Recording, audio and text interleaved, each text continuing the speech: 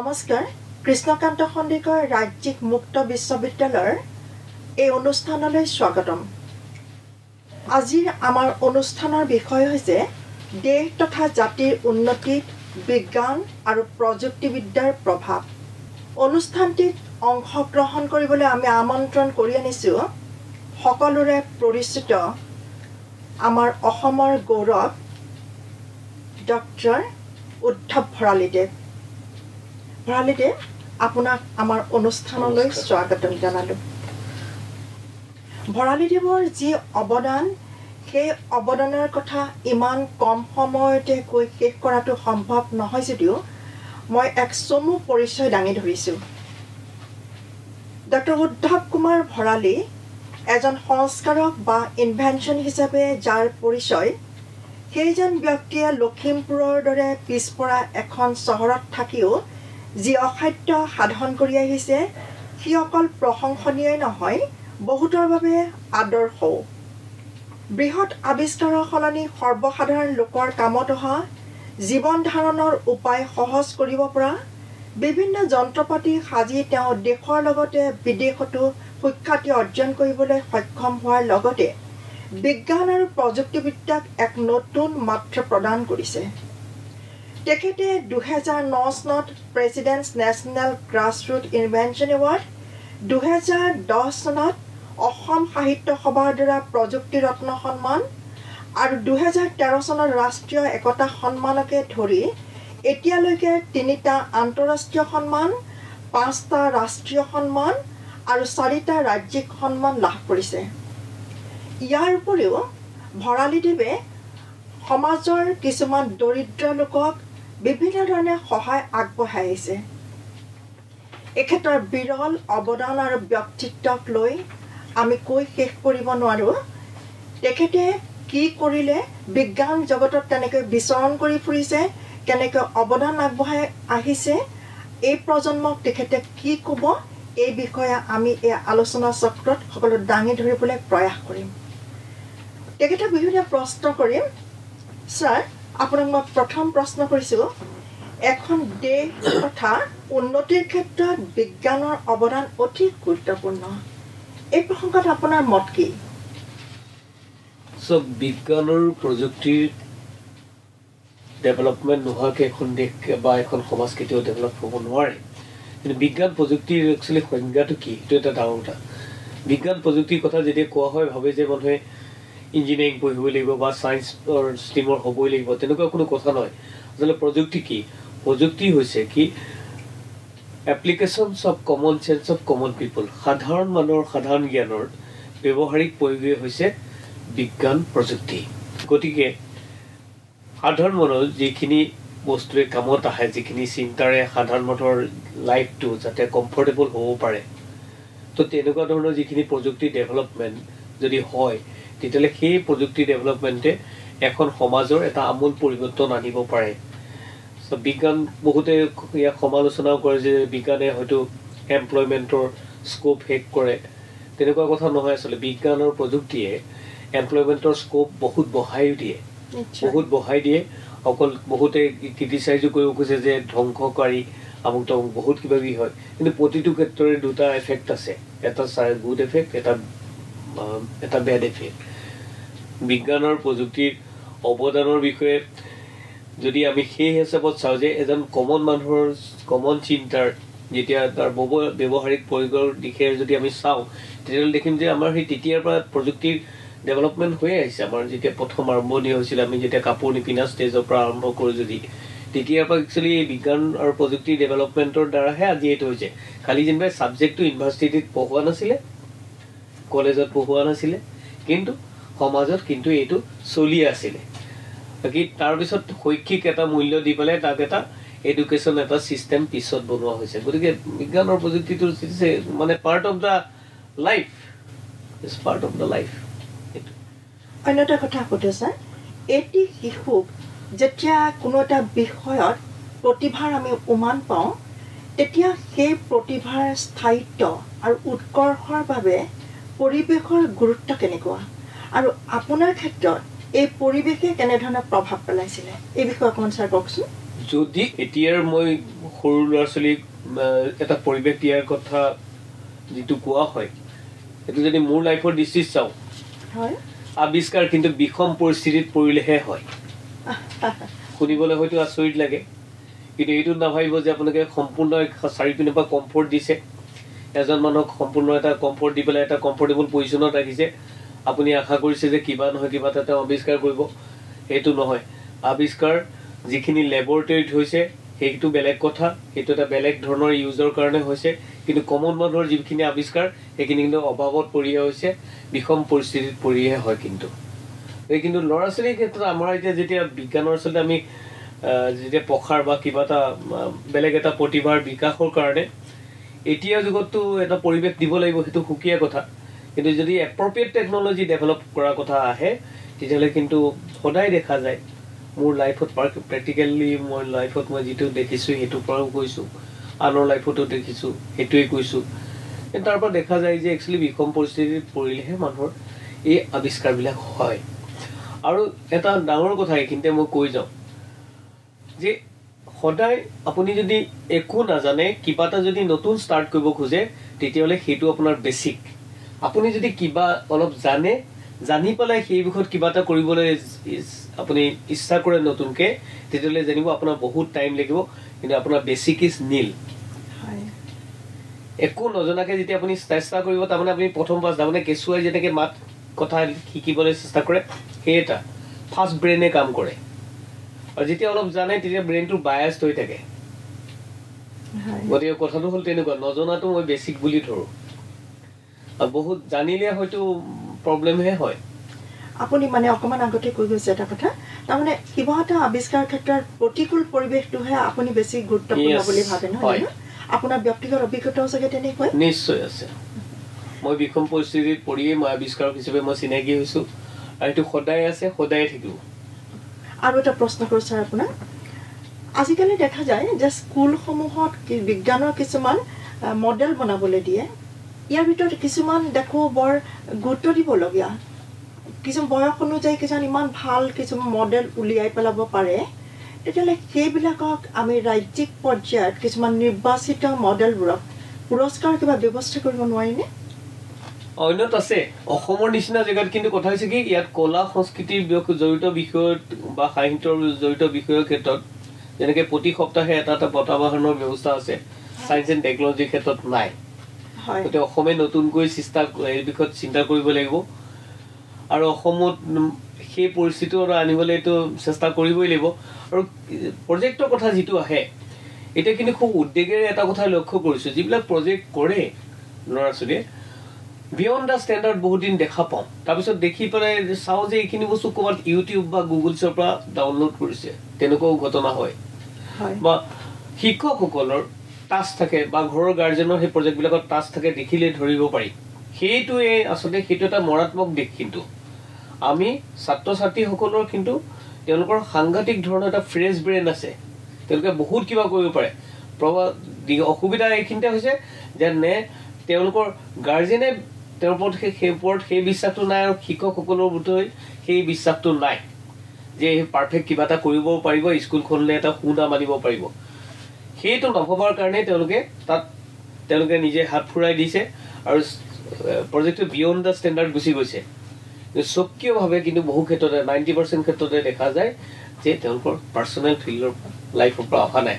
আৰু সেই ten percent যিখিনি একদম নিজৰ পাৰ্চনেলি ভিতৰৰ পৰা আহে ছাত্ৰ ছাত্ৰীসকলৰ জানিব সেই টেন পাৰ্চেণ্টেই গৈ পেলাই পৃথিৱীত সেই নোহোৱা কামখিনি কৰে আৰু তেওঁলোকৰ কাৰণে এখন দেশ এটা পৰিচয় পায়। দৰাচলতে মই ভাবোঁ ছাৰ এটা সামান্য নামৰ কাৰণে নাম কিনাৰ কাৰণে আপুনি যিটো কথা ক'লে অভিভাৱক বা শিক্ষক শিক্ষয়িত্ৰীয়ে যিটো তাৰমানে সহায় কৰিবলৈ যায় সেইটোৱে তেওঁলোকৰ সৃষ্টিকামী যিটো মন সেইটোত আঘাত কৰে। জানো নিজৰ সৃষ্টি নাথাকে মই যিটো কথা ক'লোঁ এতিয়া এতিয়া মডেলবিলাক যিবিলাক ওলায় যি আপুনি দহ শতাংশৰ কথা ক'লে তেওঁলোকে যিবোৰ সৃষ্টিৰ উমান আমি পাওঁ এইবিলাকক উলিয়াই আনিবৰ কাৰণে প্ৰচাৰ মাধ্যমৰ এটা বিশেষ ভূমিকা নাই জানো? মই কওঁ সেই ক্ষেত্ৰতে এই সুবিধাটো পাই পেলাই আপুনি এই প্ৰশ্নটো কৰাৰ কাৰণে মই খুব সুখী হৈছোঁ। এইটো মোৰ মনৰ কথা। প্ৰচাৰ মাধ্যমৰ কি হৈছে? এই ক্ষেত্ৰত কিছুমান লেক্স আছে। তেওঁলোকে কলা সংস্কৃতি বা সাহিত্যৰ বিষয়ত যিসকল এংকৰ্ছ থাকে তাত তেওঁলোকৰ এটা ভূতপুতি থাকে তেওঁলোকৰ এটা জ্ঞান থাকে। কিন্তু বিজ্ঞান আৰু প্ৰযুক্তিৰ ক্ষেত্ৰত কিন্তু সেই নলেজটো নথকাৰ কাৰণে এই বিষয়টো যেন তেওঁলোকে পৰিহাৰ কৰি চলে। বিপদ কিন্তু তাতহে হৈছে। এই ৰিক্ৰুইটমেণ্ট যিটো মিডিয়াৰ ৰিক্ৰুইটমেণ্ট কিন্তু ছায়েন্স এণ্ড টেকনলজি কোৰ ছেকশ্যনৰ পৰা হোৱাৰ কিন্তু সময় আহিলে। মই আজি এই প্ৰশ্নটো আপুনি সোধাৰ কাৰণে মই বহুত ভাল পাইছোঁ আৰু মই বহুত সুখী হৈছোঁ। মই বহুত দিন এই কথাটো মই ক'বলৈ বিচাৰিছিলোঁ আৰু। কাৰোবাক ক'বলৈ বিচাৰিছিলোঁ যে এইটো অকণমান চেঞ্জ এটা আনিব লাগে। এংকৰশ্বিপৰ প্ৰব্লেম হয়। মই ভাবিছিলোঁ কেলৈ এই ছাবজেক্টটো কিয় নলয়? প্ৰতিজন গাৰ্জেনে দেখোন প্ৰতিজন মানুহে দেখোন এইটো টি আৰ পিও বাদ দি এইটো চাব বিচাৰে। প্ৰজেক্টবিলাক এই প্ৰগ্ৰেমবিলাক চাব বিচাৰে। এই প্ৰজেক্ট প্ৰগ্ৰেমবিলাক কিয় নাহে? নাহাৰ কাৰণটো হৈছে প্ৰব্লেম ইন দ্য এংকৰশ্বিপ মই দেখিছিলোঁ। আৰু মই অনুভৱ কৰিছিলোঁ। হয়তো কোনোবাই শুনি বেয়া পাব এইটো। কিন্তু কথাটোতো কিন্তু সেইটোৱে সত্য আৰু সেইকাৰণে এইটো হোৱা নাই। কিন্তু বাহিৰত আছে আপোনালোকে জানে যে ডিস্কভাৰী চেনেলছ আছে নেশ্যনেল জিঅ'গ্ৰাফি আছে এনেকুৱা বহুত চাইণ্টিফিক চেনেল আছে। লগতে আনকি দক্ষিণাত্যতো এই চেনেলছবিলাক কিন্তু আহিছে এতিয়া। হয়। অসমত সেই বস্তুটো অহা নাই অনলি লেক অফ এংকৰশ্বিপ। এই ছাত্ৰ ছাত্ৰীখিনি উলিয়াই আনিবৰ বাবে স্কুল কৰ্তৃপক্ষই কেনে ব্যৱস্থা ল'ব পাৰে? স্কুলবিলাকে এতিয়া যিবিলাক গভৰ্ণমেণ্টে প্ৰগ্ৰেমছবিলাক পাতিছে বিভিন্ন ধৰণৰ বিজ্ঞান প্ৰযুক্তি প্ৰদৰ্শনী অসম- প্ৰতি বছৰে পাতিয়ে থাকে। প্ৰতিটো ছায়েন্স ডে ইঞ্জিনিয়াৰ্ছ ডে এইখিনি চেলিব্ৰেট কৰিয়ে থাকে। কিন্তু সেই তাৰ পৰা কি হয় আকৌ ষ্টেটলৈ আহে। ষ্টেটৰ পৰা সেইখিনিতে শেষ আৰু। হয়। তাতে সেই যাত্ৰাটো তাতে শেষ হয়। এতিয়া সেই প্ৰজেক্টবিলাক কি হয় যেতিয়া চিলেক্টেড হয় তাৰপিছত এজন কিন্তু এক্সপাৰ্টৰ আণ্ডাৰত সেই প্ৰজেক্টবিলাক ডেভেলপ কৰিব লাগে। সেই প্ৰজেক্টবিলাক এজন এক্সপাৰ্টৰ আণ্ডাৰত দিব লাগে ডেভেলপ কৰিবৰ কাৰণে। সেই ব্যৱস্থাটো নাই কিন্তু। মানে খোলাটো আছে কিন্তু ভিতৰৰ যিটো সাহ দৰকাৰ নাই। সেইটো সাহটো নাই। এইটো গভৰ্ণমেণ্টৰ সকলো প্ৰগ্ৰেমেই এনেকুৱা। সেইটো বুলিয়ে নহয়। আৰু অভিভাৱকৰ ভূমিকাৰ কথা কওকচোন ছাৰ। অভিভাৱকৰ ভূমিকা মই কৈছোৱেই আপোনালোকক অলপ আগতে। অভিভাৱকৰ সম্পূৰ্ণ বিশ্বাস নিজৰ সন্তানৰ ওপৰত নাই। আৰু বহু মই কিন্তু এইটো দেখাৰ কথা কাৰণ পাৰিবিলাকতে মই জাজ হিচাপে গৈছোঁ। আৰু সেই কথাটো মই বাৰম্বাৰ কৈছোঁ যে আপোনালোকে তেওঁলোকক স্বকীয়ভাৱে কৰিবলৈ দিয়ক যি লাগে তেওঁলোকক যোগাৰ দিয়ক। এতিয়াই তেওঁলোকক এই বস্তুটো নিশিকাব যে নাম কিনিবৰ কাৰণে হায়াৰ কৰি কিবা এটা এডুকেশ্যন ল'বৰ দৰকাৰ নাই হায়াৰ হায়াৰ কৰি কিবা এটা জ্ঞান ল'বৰ দৰকাৰ নাই কম্পিটিশ্যনত জিকাৰ স্বাৰ্থতে শিকিবলগীয়া দৰকাৰ নাই। লাগে যে শেষ যাত্ৰাত যাতে তোমালোক- তেওঁলোকে যাতে শেষ হাঁহিৰে যাতে পৃথিৱীলৈ ওলাই আহিব পাৰে নতুনকৈ কিবা এটা নতুন আইডিয়া লৈ। সেইকাৰণে অভিভাৱকৰ এটাই দায়িত্ব আছে তেওঁলোকক উৎসাহ দিয়ক আৰু বিজ্ঞানৰ প্ৰযুক্তিৰ ক্ষেত্ৰত কোনো ফেইলাৰ নাই। ফেইলাৰ এইকাৰণে নাই বুলি কৈছোঁ যিকোনো এটা প্ৰযুক্তিৰ কোনো ফেইলাৰ নাই এইটো সত্য কথা কাৰণ সেই প্ৰযুক্তিটো পাৰ্টিকুলাৰ প্ৰযুক্তি যিটো প্ৰয়োগ কৰিছে সেই তাৰ এপ্লিকেশ্যনটোহে হয়তো ভুল হৈছে। বেলেগ এটাত যদি সেই টেকনলজিটো এপ্লাই কৰে তেতিয়াহ'লে সেইটো ছাকচেছ হ'ব। গতিকে প্ৰযুক্তিত কোনো ফেইলাৰ নাই। এপ্লিকেশ্যনটো চেঞ্জ কৰক। হয়। আজি এই স্থিতি পাবৰ বাবে ছাত্ৰ অৱস্থাত আপুনি কোনখন দুৱাৰ দি পাৰ হৈ আহিছিল? এই বিষয়ে কওকচোন। চব মই অন্য ছাত্ৰ ছাত্ৰীয়ে যিমান সহজে এডুকেশ্যন লৈছিলে মই তেনেকে ল'বলৈ আছিলে মোৰ সৌভাগ্য হোৱা নাছিলে। সৰুতে যথেষ্ট কষ্টৰে সময় গৈছে যদিও আমাৰ ঘৰখন সমাজৰ এখন হেৰি ঘৰ আছিলে। বিভিন্ন ধৰণৰ কাৰণত এনেকুৱা হৈছিলে যে মই এসাঁজ খাইছিলোঁ সৰুতে মনত আছে মোৰ। কিন্তু পঢ়াত যথেষ্ট চোকা আছিলোঁ ডবল প্ৰমোশ্যন পাইছিলোঁ। তাৰপিছতে মই ক্লাছ এইটত মই মোৰ আপাৰ ষ্টুডেণ্টৰ মই মেথছৰ মই ক্লাছ কৰিছিলোঁ। দেউতাই এটা ক্লাছ ছিক্সতে তেলৰ মিল ধানৰ মিল চলাই খুলিছিলে। তাত মই ৰাতি ৰাতি কাম কৰোঁ। মোৰ সেইটো কিন্তু এটা ডাঙৰ এক্সপিৰিয়েঞ্চ আৰু তাতে পঢ়িও থাকোঁ। কিন্তু দেউতাৰ এটাই বস্তু মই তেতিয়াই খুব বেয়া পাইছিলোঁ। মই এটা সৰু ল'ৰা মিল চলাবলৈ দিয়ে। প্ৰথমতে বেয়া পাইছিলোঁ। পিছত কিন্তু খুবেই ভাল পাইছিলোঁ। আৰু এটা বস্তুৱে ভাল লাগিছিলে যে ইমান এটা ডাঙৰ মেচিনত এটা সৰু ল'ৰা এটাই কাম কৰে গোটেই ৰাতি দেউতাই কিন্তু ভয় কৰা নাছিল যে ই নোৱাৰিব বুলি। মই সেইকাৰণে গাৰ্জেনৰ কথা বাৰে প্ৰতি কৈ আছোঁ। আজি সেই বস্তুটোৱে মোক এনেকুৱা এটা কনফিডেঞ্চ দি দিলে যে মানে মই মেচিনৰ লগত এটা মানে গোটেই বস্তুটো ভিতৰে ভিতৰে সোমাই গ'ল। মই আৰু কিছুমান কথা কিন্তু এতিয়া মই মাৰ্ক কৰিছোঁ যে মই কি কি কৰিছিলোঁ। মোৰ ঘৰত এজোপা নীলা সেউজীয়া পাতাবাহাৰ গছ যেতিয়া ঘৰত থাকে। ঘৰলে তো এজোপা ৰঙা আছিলে এজোপা সেউজীয়া আছিলে। মই কৰোঁ কি দুইটা গছ বান্ধি থৈ দিওঁ। বান্ধি থৈ সদায় ৰাতিপুৱা চাওঁগৈ কালাৰটো চেঞ্জ হৈছে নেকি? সেই বস্তুবিলাক কিন্তু মোৰ আছিলে। আৰু মই ৰেডিঅ'টোৰ ভিতৰত কোনেনো কথা কয় সেইটো চাবৰ কাৰণে মই সদায় ৰেডিঅ'টো ভাঙোঁ আৰু সদায় মোক ঘৰত মাৰে। লাষ্টত মাৰি পেলাই যেতিয়া একশ্যন নোহোৱা তেতিয়া জলকীয়া মুখত দিছিলেগৈ। কিন্তু সদায় মই সেই কিন্তু মানুহটো চাবৰ কাৰণে ৰেডিঅ'ৰ ভিতৰত কিন্তু মই ৰেডিঅ' ভাঙিছিলোঁ তেতিয়া। সৰু কালটো সেই তেনেকেই কিন্তু আছিলে সেই মই ভাবিছিলোঁ যে মই সদায় প্ৰতিটো বস্তু অলপ বেলেগ ধৰণে চাইছিলোঁ। আৰু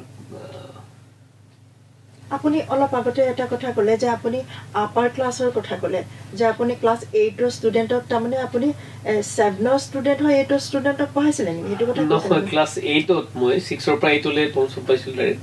তো এইটৰ থাকোঁতেই মই তাৰমানে যিখিনি ছেভেনৰ পৰা এইট পাইছিলে সেই ষ্টুডেণ্টখিনিক মই পঢ়ুৱাইছিলোঁ তাৰমানে বহু কিতাপ মেথছ পঢ়ুৱাওঁ তেতিয়া। আপুনি মই ইয়াত মেথছ এনজয় কৰিছিলোঁ। দেই মই কৈছোঁ মই ফিজিক্স খুব ভাল পাওঁ এতিয়াও ভাল পাওঁ অংক মই এতিয়াও ভাল পাওঁ। আপুনি আচলতে যিখিনি কথা এতিয়া কৈ গ'ল সেই কথাবোৰৰ কাৰণেই হয়তো আপুনি বিশ্বাস কৰে যে প্ৰতিকূল পৰিৱেশতহে মানুহৰ Yes, সৃষ্টি এইটো। নিজে মাষ্ট যদি আপুনি কিবা এটা নোহোৱা কিবা এটা কৰিব খুজিছে আপুনি যদি ভাবিছে যে আপুনি নিজৰ কেতিয়া এজন মানুহ এখন দেশত ছাকচেছফুল হয় কেতিয়া মানুহ এজনক আদৰি লয় যেতিয়া সেই পাৰ্টিকুলাৰ মানুহজনে সেই থকা ঠাইখনৰ নামটো বাহিৰৰ ঠাইৰ লগত পৰিচয় কৰি দিব পৰা কিবা এটা কাম কৰে তেতিয়াই সেই ঠাইখনৰ মানুহখিনিয়ে কিন্তু আপোনাক আদৰি ল'ব নহ'লে কেতিয়াও নলয়। নিশ্চয় নিশ্চয়। বিজ্ঞানৰ সৃষ্টিয়ে বা উন্নতিয়ে অৰ্থনৈতিক দিশত কেনেদৰে প্ৰভাৱ পেলাব? আপুনি এই বিষয়ে কওকচোন। এইটোতো এই যে হ'ল এতিয়া চাওক বিজ্ঞানৰ প্ৰযুক্তি অৰ্থনৈতিক দিশটোৰ যদি আজিৰ ডেটত যদি আপুনি উন্নতিৰ কথা কয় তেতিয়াহ'লে ডেফিনেটলি আপুনি বিজ্ঞানৰ প্ৰযুক্তিহে একমাত্ৰ বস্তু যিটো ছাবজেক্ট যিটো ছাবজেক্টে নেকি অৰ্থনৈতিক আপোনাৰ সাংঘাতিক ধৰণৰ ছ'চিঅ' ইকনমিক ষ্টেণ্ডাৰ্ডটো হাই আপোনাৰ ওপৰলৈ নিব পাৰিব। সকলোতকৈ প্ৰভাৱ পেলাব পৰা সকলোতকৈ বিষয় প্ৰভাৱ তাৰমানে। পেলাব পৰা কিন্তু এইটোৱেই এটাই এটাই মাধ্যম সেইটো বিজ্ঞানৰ প্ৰযুক্তিৰ মাধ্যম। আপোনাৰ সৃষ্টিশীলতাক আজি বিশ্বই জানে। আজি বিশ্বই আপোনাক আদৰি লৈছে। আপুনি নিজে এই সৃষ্টিশীলতাৰ উমান কেতিয়া পাইছিলে বাৰু? সেই বিষয়ে কওকচোন। এতিয়া মই যদি কওঁ মই ক'ব লাগিব যে একচুৱেলি মই বাৰে প্ৰতি সদায় কৈ থাকোঁ মই যে অভাৱেই আৱিষ্কাৰৰ মূল সেইটোহে সত্য কথা। মই যেতিয়া শিক্ষা সাং কৰি যেতিয়া মই ওলাইছিলোঁ মোৰ এজন শিক্ষক হ'বলৈ খুব মন আছিলে। তাৰপিছতে তেনেকুৱাতে মোৰ গম পালোঁ যে বেংকৰ ওচৰত আমাৰ ঘৰখন ওঠৰ লাখ টকাৰ ধৰুৱা হৈ আছে। বেংকে সম্পত্তি বাজেয়াপ্ত কৰিবলৈ আহিছে। তো তেনেকুৱাতে উপায় নাই। বেংকে ক'লে যে যদি প্ৰপাৰ্টৰশ্বিপ দেউতাৰ হাতৰ পৰা যদি অন্যায় কোনোবাই লয় তেতিয়াহ'লে আমি অলপ টাইম দিব পাৰিম। ঠিক আছে হ'ব। মই দায়িত্বটো ল'লোঁ কিন্তু লৈ দায়িত্বটো ল'লোঁ হয় মই কিহেৰে পূৰাম সেইটো? তেতিয়া আপোনাৰ বয়স কিমান মান হ'ব বাৰু? তেতিয়া মই তেইছ বছৰ হৈছে। সফল ডেকা। অঁ। তো এই মই কিহেৰে পূৰাম তো বেংকে ক'লে যে ঠিক আছে আপোনাক এক লাখ টকা আমি লোন দিম। কিন্তু মোৰ ঘৰখন হ'ল জিৰ' ইণ্ডাষ্ট্ৰি ডিষ্ট্ৰিক্ট লখিমপুৰ। তো তাত আৰু অন্য কোনো ইণ্ডাষ্ট্ৰি নচলে তেতিয়া চাহ বাগান খুব হৈছে আৰু তাত পলিথিন শ্লিপৰ চেলটো সাংঘাতিক বেছি। মোৰ লগৰ দুজন ইঞ্জিনিয়াৰে তেওঁলোকে পলিথিন শ্লিপৰ ইণ্ডাষ্ট্ৰি খুলিলে। পাঁচ লাখ সত্তৰ হেজাৰ টকা দি তেওঁলোকে বম্বেৰ পৰা মেচিন ক্ৰয় কৰি আনিলে। তো মোৰ হাতততো একো পইচাও নাই। বেংকে সেই এক লাখ টকা দিম বুলি কৈছে। মই কি কৰিম? মই মেচিনটো চালোঁ ভালকৈ চাই সেই মেচিনটোৰ আৰ্হিত মই বেলেগ এটা সাতষষ্ঠি হাজাৰ টকাত এটা মেচিন বনালোঁ এটা কমাৰ শালত বনাইছিলোঁ। নিজৰ একো নাছিলে। মই এটামান নাছিলোঁ মই শাৰী এই বস্তুটো মই বেয়া পাইছিলোঁ। মই একদম বেয়া পাওঁ যে মই নহ'ব এতিয়াও মই বেয়া পাওঁ। আৰু তেনে শ্ৰেণীৰ মানুহৰ লগত মই কথাও নাপাতো যি নেকি নিগেটিভ কথা কয়। তো তেতিয়াই মই গম পাইছিলোঁ যে মই আৱিষ্কাৰতেই যাম। আৰু তেতিয়া তাৰপিছতে বহুত দূৰ মোৰ পাৰ হ'বলগীয়া আছিলে বহুতখিনি কষ্ট পাৰ হ'বলগীয়া আছিলে সকলো মুহূৰ্তত কিন্তু মই তাৰ আহিলা হিচাপে কিন্তু আৱিষ্কাৰটোকে লৈছিলোঁ। আৱিষ্কাৰটো লোৱাৰ কাৰণে কি হৈছিলে লখিমপুৰৰ নিচিনা জেগাত যেতিয়া মই আৱিষ্কাৰৰ কথা যেতিয়া হেৰি কৰিছিলোঁ আৱিষ্কাৰতে লাগি আছিলোঁ ঘৰে বাহিৰে চবেই মোক ফাল্টু বুলিয়ে কৈছিলে। ক'তো মোৰ স্থান নাছিলে কিন্তু মোৰ বিশ্বাস আছিলে এদিন মইতো জিকিমেই। আৰু হয় হয় দুহেজাৰ ছয় চনত কেছেবা পিলিং মেচিন বুলি এটা মেচিন ওলালে গোটেইটো ইণ্টাৰনেশ্যনেল ক্লিক হ'ল। আৰু সেইদিনাখন যেতিয়া মই সেইটো ক্লিক হ'ল তেতিয়া বহুত যেতিয়া অৰ্ডাৰ আহিছে গোটেই ৱৰ্ল্ডৰ পৰা শ শ মেচিনৰ যেতিয়া অৰ্ডাৰ আহিছে মোৰতো সেইটো টেকন'লজি প্ৰডাকশ্যন কৰিবলৈতো পইচা নাই। তা আই আই টি আৰু এন আই এফ ইণ্ডিয়া মিলি ডিচিজন ল'লে যে নহয় তেখেতে আৰু সেইটো প্ৰডাকশ্যন কৰিব নোৱাৰে। কাৰণ কেলে?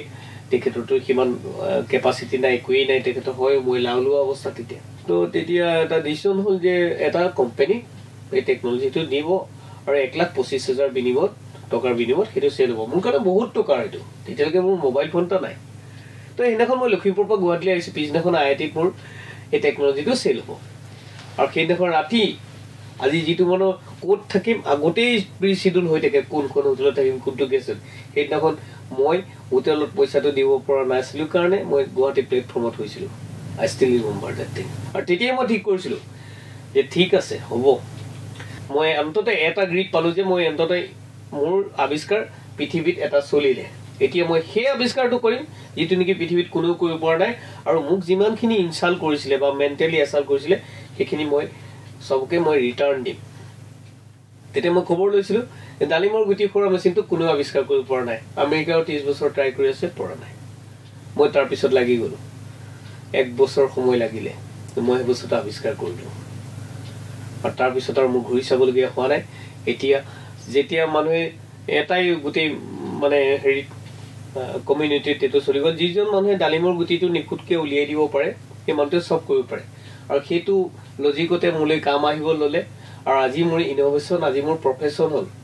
শুনিবলৈ আৱিষ্কাৰ লাগে আৱিষ্কাৰ মোৰ প্ৰফেশ্যন মোৰ দ্বাৰা আজিলৈকে এশ বিছটা মেচিন আৱিষ্কাৰ হৈছে আৰু হাতত আছে এশ সাতাইছটা এছাইনমেণ্ট আৰু মই সেই যিটো মেচিন ডিজাইন এণ্ড ৰিচাৰ্চ চেণ্টাৰটো কিন্তু লখিমপুৰতে খুলিছোঁ মোক বাহিৰত বহুত অফাৰ আছিলে। মই বিচাৰোঁ যে মোক বিচাৰি মোৰ জেগালৈ মানুহ হওক। That is my challenge and I am successful যদি মাহেকত দুটাকেও মই আৱিষ্কাৰ কৰোঁ মই দহ বছৰলৈ বুক হৈ আছোঁ এতিয়াও। ইমানেই মোৰ সেইটো কাম আছে। মই কওঁ যে সেইটো লাগে কনফিডেঞ্চ এতিয়া মোৰ কথাটোৱে সুধিম ছাৰ এতিয়া মই আপোনাক। লখিমপুৰৰ এখন অখ্যাত অঞ্চলৰ এজন বিখ্যাত ব্যক্তি। এজন সাধাৰণ ব্যক্তিয়ে এটা অসাধাৰণ কাম কৰি দেখুৱালে। আপুনি ইয়াৰ নেপথ্যত যি শক্তিৰ কথা মই সুধিম আপোনাক অলপতে মই আভাস পাইছোৱেই। আকৌ আপুনি কওক কি কি শক্তি আছে আৰু ইয়াৰ নেপথ্যত আপুনি আপোনাক উৎসাহ দিবলগীয়া কোন মানুহৰ আপুনি নাম ল'ব? মই। সেইটো ক্ষেত্ৰত মই যদি মানুহৰ কাৰোবাৰ নাম ল'ব পাৰিলোহেঁতেন মোৰ খুব ভাল লাগিলেহেঁতেন। যে সকলোৱে মোক মেণ্টেলি আচলতে ইনচাল্ট হোৱা নাছিলে মোৰ লাইফত মেণ্টেলি এচাল্টেড হৈছিলে। সদায় প্ৰতি পদে পদে ইনচাল্ট হৈছিলে। তাৰ মাজতে দুই এজন মানুহে মোক এছাইনমেণ্টৰ ক্ষেত্ৰত সহায় কৰিছিলে ছায়েন্স আছাম ছায়েন্স এণ্ড টেকনলজিত ৰঞ্জিত বৰ্মন আছিলে। তেখেতে এটা এছাইনমেণ্টৰ ক্ষেত্ৰত সহায় কৰি দিছিলে চুপাৰী কটা মেচিনটো বনোৱা হাতত ত্ৰিছ হাজাৰ টকাৰ এটা ফাণ্ড। সেই কথাখিনি মই ক'ব লাগিব। বাকী তেনেকুৱা মই আৰু হেৰি পোৱা নাই। আৰু মিডিয়াৰ পৰা মই মিডিয়াৰ প্ৰতি সদায় কৃতজ্ঞ কিন্তু। আজি মিডিয়াৰ কাৰণে কিন্তু সেই তেতিয়া যদিও মোৰ একো হোৱা নাছিলে তথাপিও কিন্তু মিডিয়াই কিন্তু প্ৰচাৰ দি আছিলে। গভৰ্ণমেণ্টে একো কৰা নাছিলে এইটো বেলেগ কথা। আনকি নৰ্থ ইষ্ট টাইমৰ এতিয়াও এটা নিউজ মোৰ মনত আছে আজিৰ ডেটত এতিয়া আমাৰ Assam গ্ৰুপছত can't you invent vote casting machine বুলি এটা নিউজ কৰিছিলে। যে মই অসমত কি কৰিম মই ভাবিছিলোঁ কি গতিকে এই মিডিয়াৰ প্ৰতি মই কৃতজ্ঞ। আৰু অন্যত মই কৃতজ্ঞতা প্ৰকাশ কৰিবলৈ একো নাই কিন্তু সেই মেণ্টেল এচাল্ট কৰা যিখিনি মই এচাল্টেড হৈছিলোঁ যিখিনি মানুহৰ পৰা মই তেওঁলোকৰ প্ৰতি কৃতজ্ঞ। কিয়নো মোৰ নিচিনা মানুহক বোধহয় সেইটোৱে কৰিব লাগে। আৰু কাৰণ কিয়নো মই জিকাৰ মানসিকতালৈ জন্ম হোৱা মানুহ। মই হাৰিব নিবিচাৰোঁ। আৰু কোনো ক্ষেত্ৰতে মই নাহাৰো। এতিয়াও মোৰ হাতত মই আপোনালোকক খবৰ বাবে অলপ দেৰি আগতে ক'লো। মোৰ হাতত এশ সাতাইছটা এছাইনমেণ্ট এতিয়াও আছে। গোটেই পৃথিৱীৰ পৰা এছাইনমেণ্ট আহে। কোনটো ছাবজেক্টৰ আহিব সেইটো ক'ব নোৱাৰোঁ। বটানীও আহিব পাৰে মেকানিকেলো আহিব পাৰে ইলেক্ট্ৰনিক্সো আহিব পাৰে। কিন্তু মই যদি কওঁ নহয় নহয় মোৰ এইটো ছাবজেক্ট নহয় যে মই নোৱাৰিম এইটো মই মেকানিকেলৰহে মানুহ সেই very day I am finished I am not supposed to say no গতিকে মোৰ হাতত যেতিয়া এছাইনমেণ্টটো আহে মই জানো যে মই এইটো কৰিব পাৰিম। কিন্তু কেনেকৈ কৰিব পাৰিম সেইটো মই নাজানো সেই মুহূৰ্তত। কিন্তু ইমানটো জানো যে মই I am going to do it how I am going to do it I do not know I do not have any idea just মই ষ্টাৰ্ট কৰোঁ। আৰু ষ্টাৰ্ট কৰোঁতে মই এটা কথা বিশ্বাস লৈ ষ্টাৰ্ট কৰোঁ যে মই জাষ্ট ষ্টাৰ্ট ইমিডিয়েটলি কৰিব লাগে I am going to get enough time to make it correct মই পিছত বহুত সময় পাম তাক কাৰেক্ট কৰিবলৈ।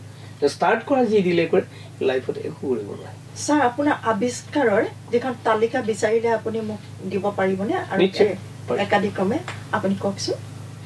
অ ক'বলৈতো ইমানটো মনতেই নাই মোৰ এশ বিছটা মই কৈছোৱে আচ্ছা এশ বিশটা। এতিয়ালৈকে আৱিষ্কাৰ হৈছে। আৰু মেক্সিমাম এছাইনমেণ্ট আহিছে। নিশ্চয়। ডিমাণ্ডত। আগতে মই ভাবিছিলো যে মই এইটো আৱিষ্কাৰ কৰোচোন এইটোত অলপ মই নাম পাম কিজানি মোৰ অকণমান সুবিধা হ'ব মই ইকনমিকেলি অকণ কিবা এটা সুবিধা টাইপ। এতিয়াতো মোৰ নিজৰ পৰা চিন্তা কৰিবলৈ সময় নাই। যিখিনি সাধাৰণ মানুহৰ সুখ দুখৰ লগত জড়িত সেইখিনি কামহে মই নিজৰ পৰা লওঁ। ধৰক এই কোনোবা হাত ছিগা মানুহ তেওঁলোকক কিবা এটা কৰি দিব লাগে। কোনোবা এজনী ছোৱালী লেডিজ তেওঁ পংগু হৈ গৈছে তেওঁ তল চোৱা গেলি গৈছে। সেই মানুহগৰাকীৰ কাৰণে কিবা এটা বহিব পৰা বা শুব পৰা ব্যৱস্থা কৰি দিব লাগে। সেইখিনি কাম মোৰ নিজৰববীয়া এছাইনমেণ্ট সেইখিনি মই নিজে লওঁ কিন্তু এই মানৱীয় দিশখিনি যিখিনি বাকীখিনিতো হেৰিয়ে কাম বা খেতিৰ ক্ষেত্ৰত যিটো শেহতীয়াকৈ মোৰ যিটো ওলাইছে মই জানো যে খেতিৰ হয়তো গোটেই ছিষ্টেমটো চেঞ্জ হ'বলৈ গৈ আছে। আৰু মই সেইটোত আৰু এটা কাৰণেও চেষ্টা কৰিছোঁ যে খেতিৰ ক্ষেত্ৰত আমাৰ যিটো এতিয়া লেবাৰ যিটো সমস্যা হৈছে সেইটো গোটেই ৱৰ্ল্ডৰ সমস্যা। যিটো মানে অৰ্ধ বাম খেতি বুলি কয় যিটো ছেমি চুৱেল লেণ্ড খেতি। তো এইটো গোটেই ৱৰ্ল্ডৰে সমস্যা। যদি মই সেইটো যদি ছাকচেছফুলি হৈছোৱে অলৰেডি এগ্ৰিকালচাৰ ইউনিভাৰ্চিটিয়ে তাত স্পনচৰো কৰিছে এইটো একচেপ্টো কৰিছে আইডিয়াটো ডাইৰেক্ট মানে ধানটো দি পেলাই খেতি কৰা। তো সেইটো যদি হৈ যায় অসমৰ নামটো গোটেই পৃথিৱীয়ে ল'ব। উদ্ধৱ ভঁৰালী কৰিছে এইটো ডাঙৰ কথা নহয়। মই সেইটোৱে বিচাৰিছোঁ। মানে আপুনি যিটো কঠীয়া এটা ফুটাৰ নিচিনাকে ভৰাই ভৰাই দিয়ে এডাল দীঘল মাৰিত নহয় জানো? সেইটো সেইটো- সেইটোতো সেইটো মানে এতিয়া শেহতীয়াকৈ উলিয়াই দিছো কাৰণ কঠীয়া ৰোৱাটো মানুহৰ এটা কনচেপ্ট সোমাই গ'ল। আৰু ৰোৱনীগৰাকীয়ে এইটো কথা নাজানে। আপোনালোকে ভাবে যে অকল তেওঁ হাউলি ৰোৱাৰ কাৰণে তেওঁ কঁকালৰ বিষয় হৈছে কিন্তু আৰু এটা মৰাত্মক কথা সকলোৱে লুকুৱাই ৰাখিছে। কিন্তু আমি লুকুৱাই ৰাখিব নালাগে। খেতি পথাৰতে হায়েষ্ট মিথেন ইম'চন হয় মিথেন গেছ যেতিয়া মানুহগৰাকীয়ে যেনেকে যেতিয়া কৰিছে ন তেওঁ অজস্ৰ বেমাৰ লৈছে। অজস্ৰ ডাইৰেক্ট মিথেনটো যদি মুখত সোমাই এতিয়া উশাহৰ কুঁৱা এটাত মাজেৰে কুঁৱা সোমাই এটাত গৈছে নে? যেতিয়া মানুহ এজনী পৰে কেলে মৰে? কাৰণ কেলে তাত তলত মিথেন গেছ আছে। আৰু এই মিথেনটো তেওঁৰ কিন্তু ডাইৰেক্ট মুখত সোমাই আছে। চবেই মনে মনে আছে। বৃহৎ বৃহৎ বিজ্ঞানীসকলে কি কি একেখিনি কথা নাজানে? জানে। নকয় এইবিলাক কথা। সাধাৰণ মানুহ। মৰিছে মৰিয়ে আছে। কাৰ কি যায়? গতিকে এই প্ৰব্লেমটোতো এটলিষ্ট চল্ভ হ'ব। আৰু যদি ধান ধানটো যদি এই কঠীয়াৰ পৰা আমাৰ চিষ্টেমটো কেলে আহিছে আমি ধানটো খালি আঠ ইঞ্চি ডিফাৰেঞ্চত আমি দিব পৰা কোনো মেচিন উলিয়াব পৰা নাই আৰু যদি সেই মেচিনটো ওলাই যায় তেতিয়াহ'লে কঠীয়াৰ পৰা সমস্যাটোৱে নাথাকিব আৰু সেই মেচিনটো অলৰেডি মই ডেভেলপ কৰিছোৱেই তাৰমানে এবাৰ যেতিয়া কঠীয়া ৰোপণ কৰে এবাৰ ৰোপণ কৰিলে বহুতক একেলগে ৰোৱা নিচিনা হ'ব নহয়। জানো একেলগে যিটো আপুনি ফুটা কৰি। পেলাই বাঁহত তেনেকে হয়। সেইটো তেতিয়া সময় ৰাহি হ'ব। সময় ৰাহি হ'ব এই প্ৰব্লেমটো হ'ব। আৰু এই যে যিটো অন্যায় কৰা হৈছে আমাৰ ৰোৱনীসকলৰ প্ৰতি সেই অন্যায়টো নাইকিয়া হৈ যাব। আৰু এটা কথা গভৰ্ণমেণ্টেওতো ৰাস্তা মাৰি থলে নহয়। আপোনাক কোনে এতিয়া ৰুবলৈ যাব? চাৰিশ টকা দিলেও বোলে হাজিৰা নাপায়। কাৰণ কেলে? এন আৰ গাছা কাম আছে তিনটকীয়া চাউল আছে। গতিকে কেলে হ'ব? আৰু তেখেতসকলে কেতিয়াও ধনী হ'বলৈ চেষ্টাই নকৰে। কাৰণ এই যে তিনটকীয়া চাউল সাতটকীয়া চাউলৰ ইয়াৰ অৰ্থটো কি? যদি এপিনে চাওঁ যদি কয় যে চৰকাৰে সমাজ সেৱা কিন্তু মোৰ দৃষ্টিত সেইটো হৈছে কি তেওঁলোকে এটা নিৰ্দিষ্ট বাৰ্ষিক ইনকম হ'লে ওপৰত গ'লে কিন্তু সেই সুবিধাটো নাপায়। তাৰমানে তোমালোকে ধনী হ'ব নোৱাৰিবা। You stay on this limit তেওঁলোকক ৰাখি দিয়া হৈছে।